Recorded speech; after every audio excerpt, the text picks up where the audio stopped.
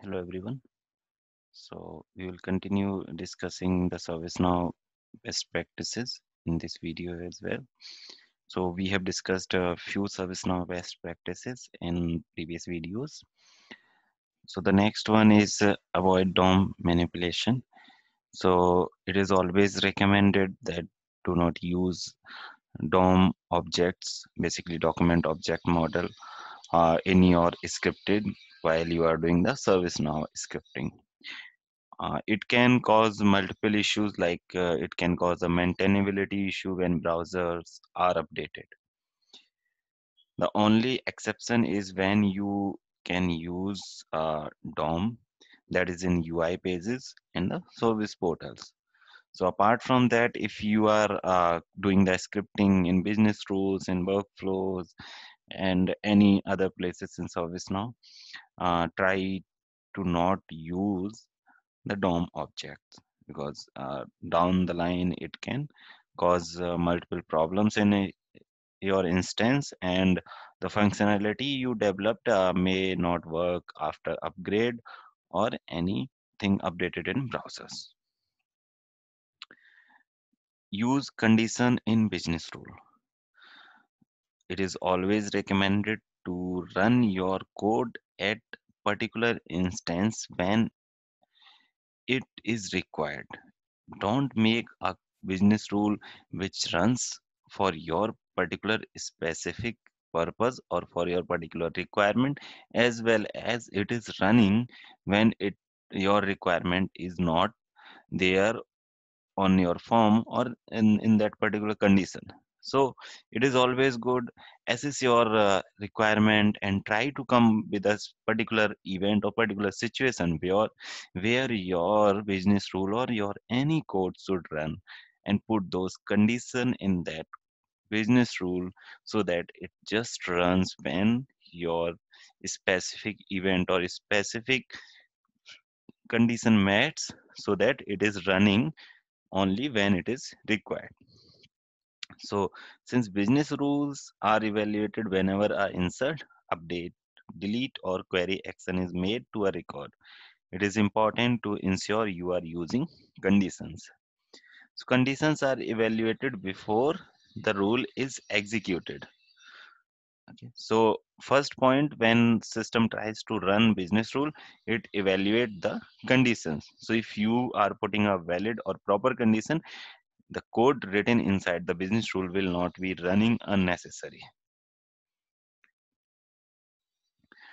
Then prevent recursive business rule. It is always good to do not put system in recursion mode. So to do that, basically do not use current dot update in business rule script. The example here shown, uh, basically we are trying to update the stage of same record in the business rule. However, when we will be saving automatically that value will got saved. The update method triggers business rule to run the same table for insert and update operation, potentially leading to a business rule calling itself over and over. You can prevent recursive business rule by using the set workflow method with the false parameter as current dot set workflow false.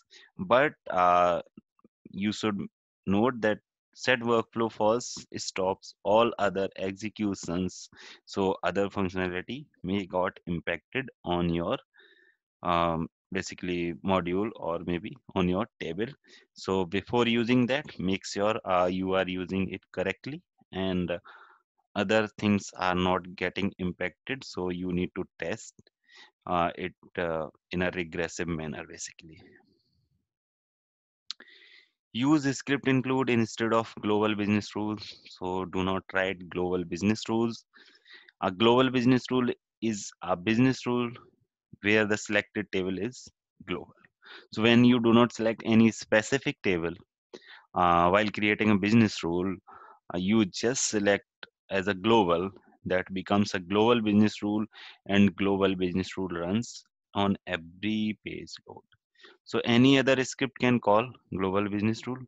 Global business rule have no condition and table restriction and load on every page in the system and that will cause the system performance issue and your system may get slow over the period because again system will be having loads load of uh, records being inserted in your tables and then these global types of business rule will be again putting some load to the system and it will impact your system performance and your system will get slow and your users will face slowness in loading the records or opening the service now instance.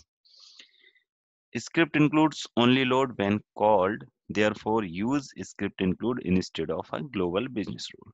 So script include basically whenever you will call from a particular place, they will call at that time only.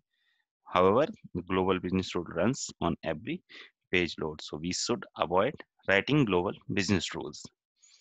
Thank you for watching the video. I will be back with next video